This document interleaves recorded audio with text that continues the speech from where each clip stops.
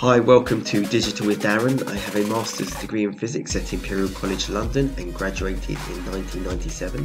I designed satellites at Matra Marconi Space and I spent 20 years as a quantitative trader on proprietary and flow trading desks in the City of London.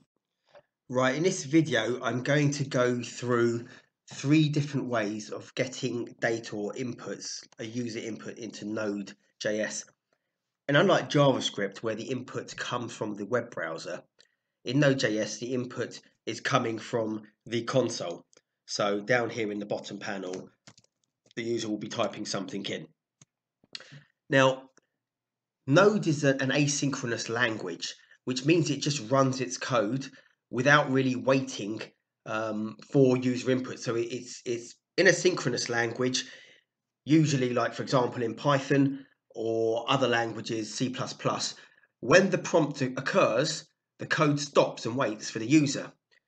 In an asynchronous language, the rest of the code is just going to keep on running. And there are certain things that the user can do to bypass that or make it useful for them. And there are certain things and pitfalls that they might fall by the wayside if they don't realize this, especially when they move from a naturally synchronous language to a naturally asynchronous language. So in a synchronous language, for example, like um, Python, one might write x equals input and then a comment to the user, what is your name? Question mark and a space. And that would be sufficient. This piece of code in Python would just prompt the user in the console. You, it would wait in the console until the user answered the question. X would then be populated with a value, the result of the input, and the code would continue so, as forth. But this doesn't happen in Node.js. So we're going to have to do something different. And we can already see this. I've got three examples, three different methods, and they come from three different libraries. One is the readline library here. There's another library in method two called the prompt library, and then there's a third method called the prompt sync library. So I'm going to go through all three of them in in due course. But as you can see, that each one of them is longer than the simple one line of x equals input something. So going through method three first, this is the require read line, so it's the read line library what I'm going to do is comment out all of the rest of the code above. So we're just running that particular library. So here we go, comment everything out. And we're just running this piece of code. And what's going to happen is we we are calling this library. We're doing that by the require function. And then we use this library to create an interface. It creates this interface, st, std in, std out, and then it prompts the user for the question here on this line number 54, rl.question. So read line dot question. And RL is read line create interface. So you've done this function, you've created an interface, and then the question arises. Now, in this RL read line, the code is what the question is, is prompted here. What is your name? One of the parts of this function is that it actually has a callback function. Now, we haven't gone through callbacks at this point in time, but basically, the callback is a result of what the user puts in.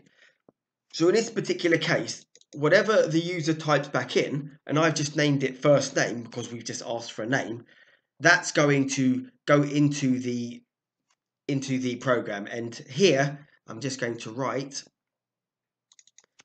first name because whatever comes in, so it's going to prompt you, what is your name? I'm going to put Darren, and it's going to go, hey there, Darren. And then it's going to close. But we're going to see a, uh, a little extra bit here. So we're going to call, when we've done this and we think we've finished, we call this function rl readline.close. Now, readline on close closes and exits. But we're going to see something just slightly different, which is there's two extra lines of code that are not inside the function, that are outside of the function. So we're waiting for the prompt, and then when the prompt is done, uh, we're going to see the rest of the code, and it's going to say the rest of the code, here is more code. So we're just going to run this by hitting the F5 button on the keyboard or just running it something. And what we see is what is your name? But then immediately afterwards, before we've actually had a chance to put in our name, we see the rest of the code. And then we see here is more code. So it's almost as if this code has run before the user has got to put in the prompt. Now we can put in our name and the program then finishes. And this is an example of asynchronous programming. The code doesn't wait for the user to input. The code goes along without the user inputting and when the user inputs, it will then take the code or the input and run the code in that block as and when the user has input. Now, in order to bypass this, if one did want to go past it, they would have to, for example, take this code and possibly put it into the function up here. And then run it. Let's see what happens. I'm not sure what will actually happen. So here we get the prompt, what is your name? And now the extra bits of code haven't been written because they're waiting in synchronous line to be called. So we put in our name, hit return, and then you get the, hey there, Darren. But actually, it's jumped out to the RL on close, so it hasn't actually even run this code. So what we'd need to do, possibly, is move this cut, move this RL.close, possibly to the lines below it. Let's see what happens.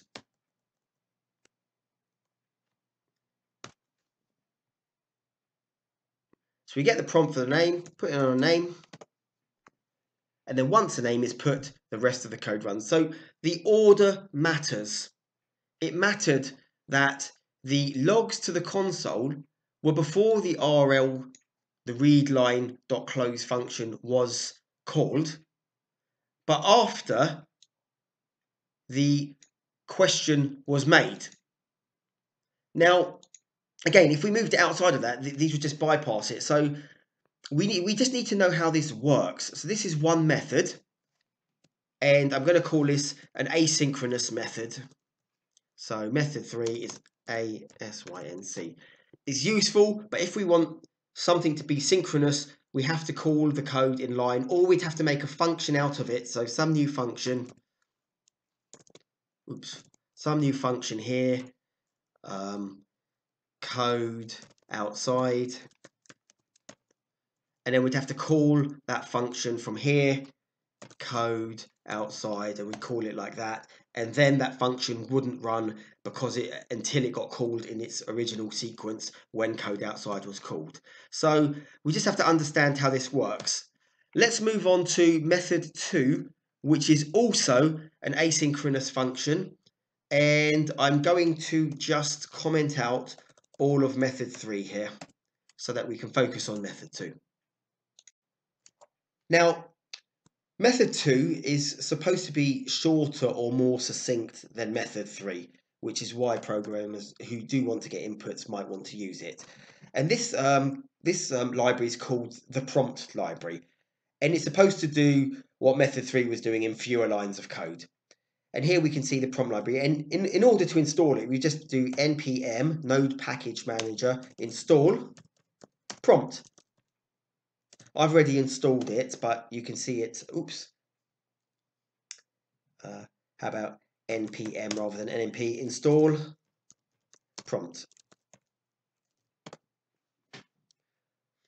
and it'll go through and it will install a package and the package will be available and the library will be available. Now we call it, we do the same thing to call it, constant, and then we assign a variable. I've used PRM just because um, in the method one above, I've used the the, uh, the variable prompt. So I don't want to rename, use the same variable twice. So const PRM equals require prompt, and then PRM.start, and then prm.get and we're going to do get a username and an email and so forth and it's going to run through it. When we hit F5 we notice the other two functions are commented out so when we hit F5 it's just this function that's going to run. We hit F5 to run the code and what we get is prompt for username, but then we get more code runs here, more code runs here, and more code runs here, which are these three lines that have been logged to the console. So again, we're seeing that this prompt function is an asynchronous function. It's running the rest of the code before the user has got a chance to put in their username and email. So let's just go there and I'll put in the username, Darren, and I'll put in an email, Darren at email.com, and then the code would have run. So again, what we're seeing is we'd have to, if we wanted this to work, we'd have to take this code and move it into this function. Something like that. And then try and run it, and then possibly it will run. Let's have a look, in fact. I haven't actually tested it like this, but let's do it. So here we go, the prompt is now for Darren.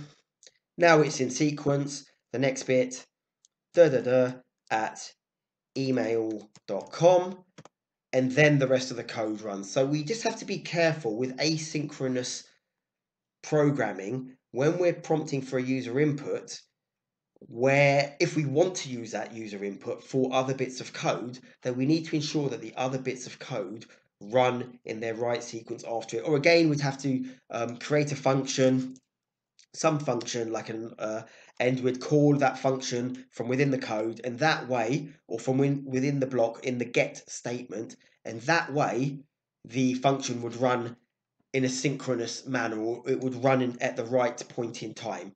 So this is all a bit in a way about running at the right point in time. We do like asynchronous behavior. We do like the computer under many circumstances to go ahead and process other bits of code and then when a user comes back and does its prompt to continue, especially on intensive things. But for the purpose of um, if, if we just wanted to write a simple piece of code and wanted to prompt and wait, we just have to do that in a specific way and we need to know about that. Now I'm just going to comment this out. And the last method, which is going to be method one, so I've gone backwards in the methods. And I'm going to uncomment all of method one. Is something called prompt sync. So funnily enough, you've got prompt and that's asynchronous. Well, this is a library. And again, we'd install it through the package man manager, npm install prompt sync. I've already got it installed, so I don't need to, to reinstall it.